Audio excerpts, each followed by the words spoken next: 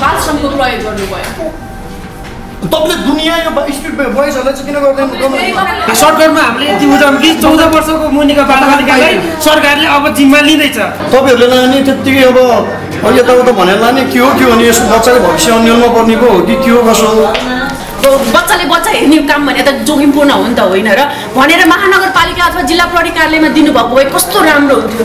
सुन्नु न सम्झाइदिनु बाबुलाई ल जाऊ अहिले हामी भोलि आउँछौँ भनेर पठाइदिनुहोस् त्यति हो। कोअपरेट गर्नु। गर्नुहोस् तपाईँहरूले भन्नुभएको कुरा सबै थाहा हुन्छ। धारा उन्चालिसमा बालबालिकाको हकैको व्यवस्था छ होइन? त्यो सबै तपाईँलाई थाहा छ कि? अब त्यही भएको गरेर प्लिज कोअपरेट गरिदिनु बाबुलाई। बाबु जाऊ भन्नु। उसलाई मनाउनुहोस्। एउटै कोठामा एउटै ओछ्यान सँगै हामी। त्यो भनाङ मुनि सुताउने ए बाहिर सुताउने। सुत्दा म पनि सुत्दा अर्को खाना सुत्ने त अभिषेक त्यहाँ सुत्ने हो। तिमी जाने कि नजाने भन त। हँ?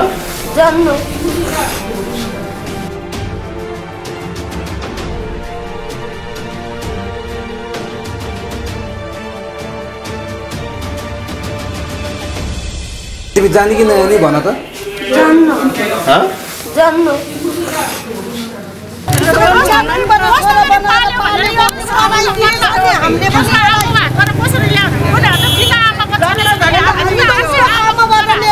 गुल्मीबाट हामीले पढा त हामीले नपढा पनि लाने त तपाईँहरूले पढा छ नि त त्यस्तो नियम छ नि त पहिला। त्यो सबैलाई मेरो छोरो जस्तो गरेर पालेको हो नि हामीले।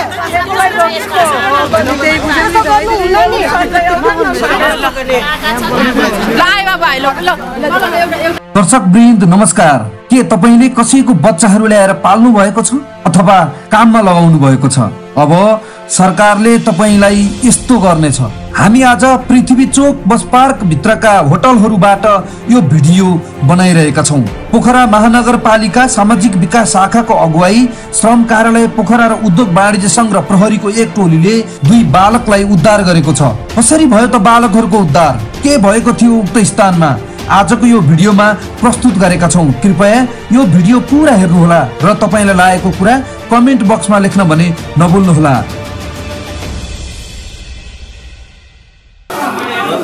बाबु जाने होइन यता हेर त। गफ गर्ने। तिमी जाने कि नजाने भन त। हँ? तिमीलाई कसले लानु आएको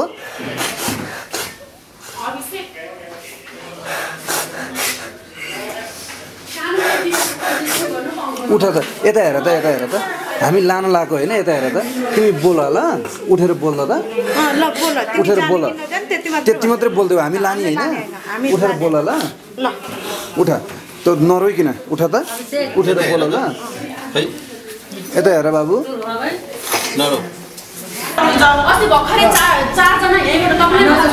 सबैलाई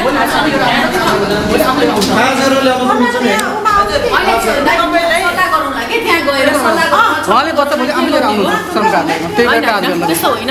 त्यस्तो हुँदैन कि सर कस्तो कुरा बनाएर उहाँले आफै लिएर आउनुहुन्छ कसरी मिल्छ हामीले आँखाले देखिसके पछाडि। भोलि बनाउनु घर बनाउनु सक् बनाउँछौँ होइन? तपाईँ आफै लिएर आउनु तपाईँ मैले भन्नुभयो नि अलिकति तपाईँले अलिक- सुन्नु न सर ए बाबा हजुरले किन कुरा नबुझ्नु भएको अहिले चाहिँ हामीले उहाँलाई पठाउनुहुन्छ कि? लैजानुहुन्छ कि? अनि भोलि भोलि फेरि तपाईँहरूले आउनुहुन्छ। नि त। भोलि आउनुहुन्छ भोलि आउनुहुन्छ नि उहाँहरू। हुन्छ भोलि भनेर भनेको मैले। हाम्रो आज हामी सबै आएको चाहिँ बनाएर लान्छौँ। त्यही त। तपाईँ सबैले बनाउनु पर्छ फेरि त्यही त भने त्यही त त्यही भएर अहिले चाहिँ यो बुझ्नु तर हजुरलाई चाहिँ आज। पठाउनु राम्रो है सर। त्यही भोलि महँगो पर्छ यति कुरा बुझ्नुहोस्। यसको पछाडिको अर्थ के त? ल मलाई नराम्रोको कारण के हो? सर, के हुन्छ भनिदिनु? अहिलेको कानुन अहिलेको कानुन। मैले अपराध के गरेँ? हजुरले अपराध गर्नु भएन तर अहिलेको कानुनले अपराध बताउनुहोस् न। बाल श्रमको प्रयोग गर्नुभयो।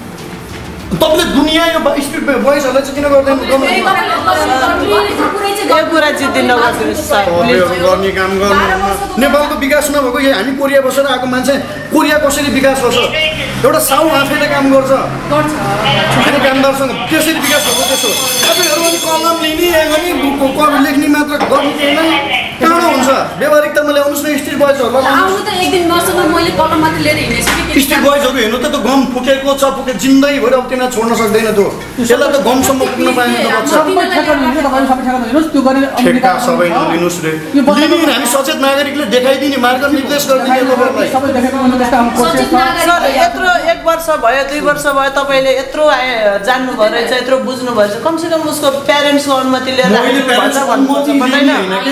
यसलाई मैले लैदिन्छु सिन्धुली लैदिन्छु भन्दा पनि मानेन क्या गयो सिन्धुली सिन्धुली ल तेरो घर जाम तेरो बाबालाई भेटाइदिन्छु बाबाले वास्तै गर्दैन। मैले म एकचोटि मा घुम्न मन लाउँछ म घुम्न म चाहिँ यति रुचाउने मान्छे म घुमेर जान्छु सिन्धुलीमा उसको घर पुऱ्याइदिन्छु आउँछु फर्केर मान्दै मान्दैन त के गर्ने तपाईँको त्यो त्यो कमजोरी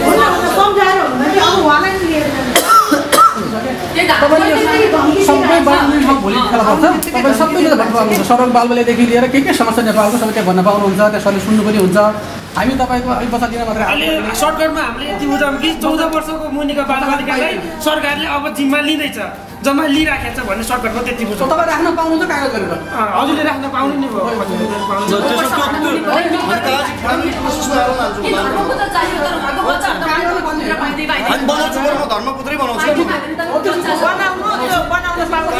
हजुर। कार्यालयमा त्यो भोलि बोलाउनुहुन्छ। त्यहाँ जानु त्यसको लागि के के प्रोसेस छ सबै बुझ्नु गर्न पाउनुहुन्छ।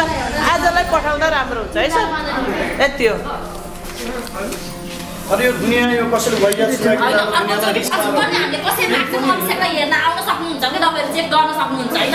हामीले कसरी राखेको अभिषेकलाई बेला आउनु आएर हेर्न सक्नुहुन्छ? अरू बच्चा र अभिषेकमा धेरै फरक छ क्या फेरि? यस्तो भयो कि तपाईँले चाहिँ आफ्नो छोरालाई भन्दा त्यसको लालन पालन लालन पोषण यसलाई हामीले राम्रो राम्रो कपडा लाउने। फेरि यो त्यही खोत्रो कपडा लाएर बस्छ कि? मैले अहिले भर्खरै नयाँ किनेको ज्याकेट छ ज्याकेट लानु अभिषेक भन्यो भने अह मलाई त अङ्कल गर्मी भएको छ अङ्कल भन्छ।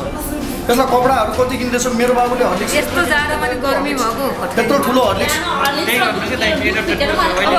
धेरै कुरा नगराउँछ है। बुझेछु हो त्यसको नाम के बुवाको नाम के थाहा छ तपाईँले बाबु लन्च बाबामा त केही पनि आमा त नौ महिना है कति कि बुवा अङ्कल जो छ। मेरो पनि एउटा तपाईँहरूको कुरा त मैले सुन्दिनँ नि त। मेरो कुरा पनि सुनिदिनु पर्ने हो नि त। ठिक छ यो बच्चा हिजो सुरक्षित थियो आज सुरक्षित छ भोलि पनि सुरक्षित हुन्छ। बाबुमा या उसको कुनै अभिभावक लिएर लैदिँदाखेरि कति राम्रो हुन्थ्यो ठिक छ त्यही कुरा हुँदैछ। मलाई त्यति गर्दै सुनेको छु यसलाई चाल्ने बाबुमा फेला परेर जुन पेट्रोल भएको नि त। यसको नाम भन्नु बच्चाको नाम त्यो आएर लैदिएको भए पनि राम्रो हुन्थ्यो। तपाईँहरूले लाने त्यत्तिकै अब अब यताउता भनेर लाने के हो के हो नि यसको बच्चाको भविष्य अन्यलमा पर्नेको हो कि के हो कसो हो? कहाँ पुग्ने हो यो बच्चा? आज यहाँ नेपालमा छ भोलि कुन देश पुग्ने हो? जे नि हुन्छ नि गइरहेको छ नि बच्चाहरू विदेशिएको छ। होइन तस्करी भइरहेको छ बच्चाहरू। संस्थाको नाम लिँदै। त्यो भएर चाहिँ अलिकति मैले चाहिँ बाबुको चाहिँ अभिभावक आयो भने जो कोही पनि दाजुभाइ एकजना जो पनि आउँछ भने म हाँसी हाँसी खुसीले होइन सबै कुरा बताएर सुरुमा मैले कसरी ल्याएँ कसरी बाबुको दिनहरू बित्यो सबै कुरा बताएर मैले हाँसी हाँसी दिने थिएँ बाबुलाई। तर अब तपाईँहरूले लाँदा त मलाई चित्त बुझ्दैन नि त। मैले छ क्लासमा हालिदिनु लाग्यो यो फेल भयो। टेस्टमा फेल भयो पाँचमा हालिदिएको। पाँचमा हालेपछि हामीले सहयोग गर्मेर अलिअलि पढाउनु सिकायौँ सिकाएपछि यसले सानो सानो इक्जामहरूमा कहिले सेकेन्ड कहिले थर्ड कहिले फर्स्ट ल्याउने प्राइजहरू ल्याउने पुरस्कारहरू ल्याउने गरेको यार भन्दै सिकाएर पढाएर। माया गर्नुहुन्छ हामीले पनि देखिराख्नु है अब। कहाँ छ बाबु चाहिँ?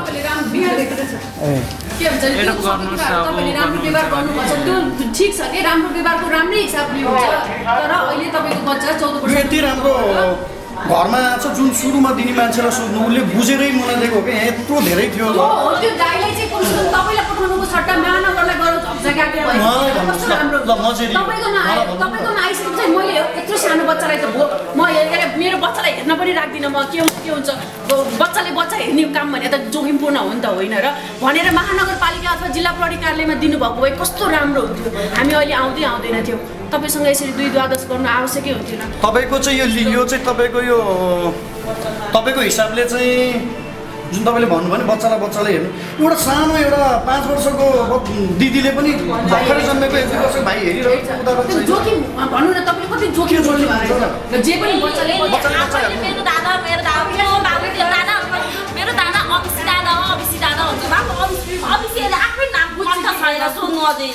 सुन्नु न सम्झाइदिनु बाबुलाई ल जाऊ अहिले हामी भोलि आउँछु भनेर पठाइदिनुहोस् त्यति हो। कोअपरेट गर्नु। भाँडा भाँडा माझ्नुको हातबाट थाहा हुन्छ हात चेक गर्नुहोस् बच्चाको।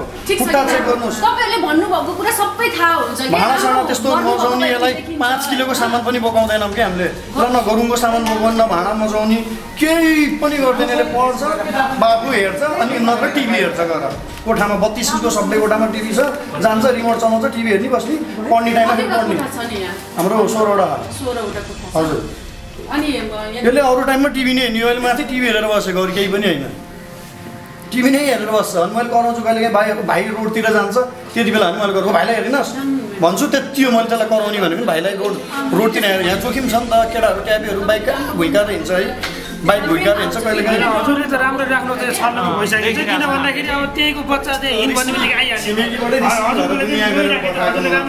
सुन्नुहोस्। यस्तो अस्ति अस्तिसम्म धेरै चर्चा भइरहेको थियो कति राम्रो छ है त्यो अभिषेक है? तपाईँलाई त अर्को जेठो छोरै मिल्यो है भनेर मलाई दुनियाँले वरिपरिकोले भन्थ्यो क्या? तपाईँलाई त रक्सी चोर्नेहरू पत्ता लगाएर कति? म भन्दा बढी मेरो घरको केयर गर्छु कि त्यसले होइन? मैले सा- मैले काम गर्नेहरूले रक्सी चोर्दाखेरि? त्यसले यसले थाहा पाएर काम गर्नेहरू हामीले कति लहटिसक्यौँ क्या कति लहटेम के? मैले मेरो छोरालाई बरु त्यति मैले विश्वास गर्दिनँ त्यसलाई मैले त्यति विश्वास गर्छु कि? एउटै कोठामा एउटै हो। त्यो भनाङ मुनि सुताउने ए बाहिर सुताउने। म मिनी सुत्दा अर्को खाटा सुत्ने अभिषेक त्यहाँ सुत्ने हो। त्यहाँ हेर्नु त्यसको लागि होइन आठ हजारको छुट्टै लोबेड बनाइदिएको हामीले कपडा राख्ने घर र सहितको। त्यस्तो भइदिएको राम्रो गर्नुभयो तर पनि चौध वर्षभन्दा मुनिको बच्चा भयो बाह्र वर्षको ठिक बच्चा छ तपाईँको अहिले सरकारी सरकारी होइन यो त छप्पन्न नेपालको संविधान धारा उन्चालिसमा बालबालिकाको हकैको व्यवस्था छ होइन? त्यो सबै तपाईँलाई थाहा छ के? अब त्यही भएको भएर प्लिज कोअपरेट गरिदिनु बाबुलाई। बाबु जाऊ भन्नु। मनाउनुहोस्। के हुनसक्छ? तपाईँहरूलाई खबर गरेर वैधानिकता बनाउने कुनै पाटो हुनसक्छ या बुझाउने नै हुनसक्छ? अब यो के हुनसक्छ? अब भिडियो हेरे पछाडि एउटा इन्फर्मेसन हुनसक्छ नि। अब यसको लागि त अब हामीले मिडियाहरूमाबाट पनि त यो कानुनका कुराहरू जानकारी गराउने कुराहरू छन् अनि अब कानुन जानेन भनेर कानुनले क्षमा दिँदैन जोसुकैले पनि त्यो कानुनलाई चाहिँ मान्ने हुनैपर्छ मान्नै पर्छ किनभने म यो देशको नागरिक हुँ भने। भन्ने कुरा पनि एउटा नागरिकले जान्नै पर्यो। अब सचेत नागरिकहरूले त्यो कुराहरूलाई मान्यता दिनै पर्यो र त्यसलाई पालना गर्नै पर्छ। अब जस्तै म्याडमले हामीले केही जानकारी पाएन भन्नुभयो उहाँ चाहिँ एउटा रोजगारदाता भनौँ अहिले हाम्रो त्यो बाबाको हकमा। अब उहाँहरू पढे लेखेकै हुनुहुन्छ। अब उहाँको श्रीमानले त अघि भनिहाल्नु भयो जनप्रिय स्कुलबाट म थर्ड भाइ हुँ र म यस्तो पढे लेखेको मान्छेलाई तपाईँहरूले सिकाउने पनि भन्नुभयो। हामीलाई आवेशमा आएर हामीलाई हरेक कुरा चाहिँ उहाँले नै सिकाउनु भयो भनौँ। अब यो कुराले गर्दा उहाँहरूले पनि नजान्ने कुरा केही पनि छैन जस्तो मलाई लाग्छ। उहाँहरूले जान्नु भएको छ तर अर्कोको घरमा छ मैले गर्दा के हुन्छ अर्कोको घरमा छ मैले गर्दा के हुन्छ भन्नुभएको छ। प्रश्न चाहिँ के हो भने कसैकोमा बच्चा छ अहिले पनि छ स्टिल छ।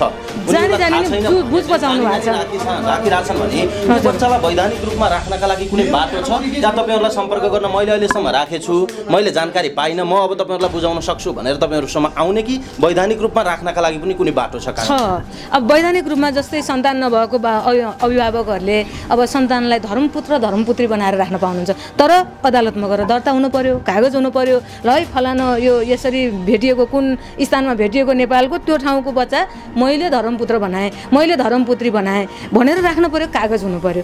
त्यसलाई चाहिँ सरकारले कानुनले मान्यता दिन्छ। अब उहाँहरू त अहिले अब हामीले अहिले बुझ्दा अब अहिले हामीले यहाँ रेस्क्यु गर्न आएको बच्चालाई त एउटा कामदारै देखियो नि त। होइन र? सानो बच्चालाई ठुलो बच्चाले हेऱ्यो। कामदार होइन? श्रम शोषण भएन त यो चाहिँ मान्ने भएन भनेर सरकारले चाहिँ उद्धार गर्न खोज्यो।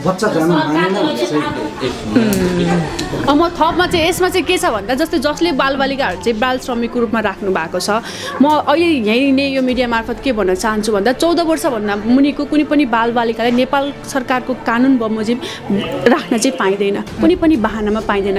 इभन सर अदालतले उसलाई धर्मपुत्र पुत्री दियो भने अब आवश्यक कानुनी प्रक्रिया अप्नायो भने बाहेकको अवस्थामा त्यो अवस्थामा चाहिँ चौध वर्षभन्दा मुनिको कुनै पनि बालबालिकालाई बाल श्रमिकको रूपमा राख्न पाइँदैन। स्पष्ट रूपमा बाल श्रम विच्छेदित र नियमित गर्ने ऐन दुई हजार छप्पन्नमा व्याख्या गरेको छ। अर्को रह्यो कुरा काम लगाउन उमेर पाउने भन्ने पनि छ। चौध वर्षभन्दा माथिको जो चाहिँ चौध वर्ष उमेर पुरा गरिसकेको छ त्यो अवस्थामा चाहिँ राख्न पाइन्छ। तर श्रम कार्यालयमा गएर आवश्यक प्रक्रिया अप्नाएर सूचना दिएर राख्न चाहिँ पाइन्छ स्वीकृति लिएर पाइन्छ।